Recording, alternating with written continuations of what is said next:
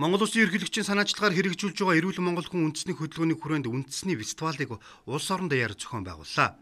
Иргэд олон нийтэд эрүүл мэндэд дэмжих хамгаалах зөв хоололт идэвхтэй хөдөлгөөн спортын ач холбогдлыг таниулан зурчлах зорилготой юм а.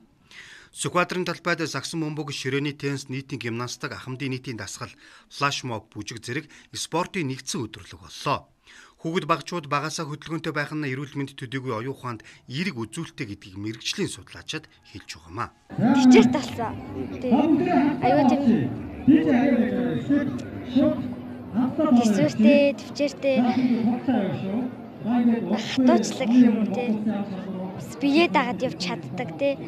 Тэгээд одоо ингээд харанхуй чинь явжсэн зэ хулгаач мулгаач ингээд байх юм бол шууд зодол хийчих. Бие хамгаалах чадвартай сайн байна. Тий. Өөр ямар зүйл сурдаг? Оо зөндөө тэгэл сонголтоос ахуулаад, тулаанаас ахуулаад, бэмзэгээс ахуулаад зөндөө л Үүрээ дэнс бүжгийн клуб нь үн төлбөргүйгээр эмэгтэйчүүд болон ерөнхий боловсролын сургуулиудын сурагчдад хөдөлгөөний утгаас сэргийлэх үүднээс орчин үеийн бүжиг болон монгол бүжгийг зааж эхлэдэг байгаамаа. Эрүүл Монгол хүн үндэсний хөдөлгөөний үеэр 500 орчим эмэгтэйчүүд уухай дууны аянд нэгдэн флаш моб үзүүлсэн юм а. Тийм мэдээж хэрэг хөдөлгөөн маш чухал. Хүмүүс нөө бүжгэлдэг гэхээр заавал нэг тусгай авьяастай хүмүүс бүжгэлдэг гэж бодоод байдаг. Гэтэл бүжгэлхийг хүсдэг маш их хүн байдаг. Ялангуяа эмэгтэйчүүд манд нэ. Тэгэхээр түүнийг олж хараад хүссэн хүн болгон бүжиглэх боломжтой шүү гэдгийг анх уриалж бүжгийн клубээ нээжээ la. За тэгээд энэ олон бүсгүйчүүд бүгдээрээ манай бүжиг клубын шавнар.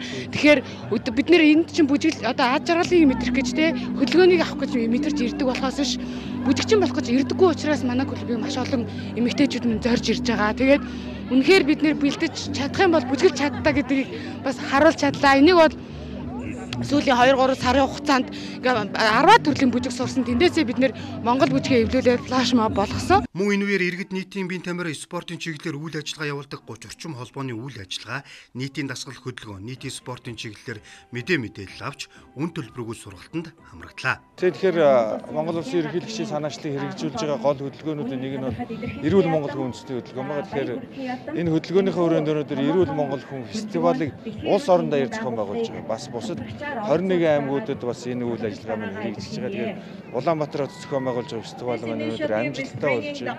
Бид нар хамгийн гол нь ард иргэдэг эрүүл зөв амьдралын хэм маягийг яаж хэрхэн яаж бий болгох вэ? цаашдаа их та хэрхэн яаж зөв амьдрах боломжтой юм бэ гэдэг энийг л бид нар ард иргэдээс ойлгох хэрэгтэй.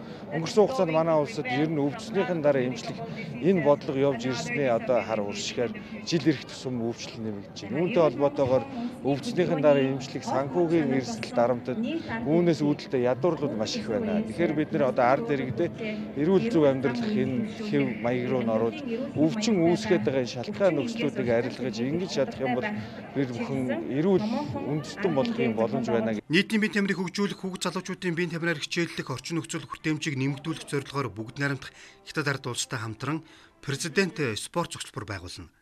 Зохицолбор нь 19 төрлийн спортын үйл ажиллагаа явуулж өдөрт 5-аас 6 мянган хүүхд залуучд үйлчлэх хүчин чадалтай байх юм а.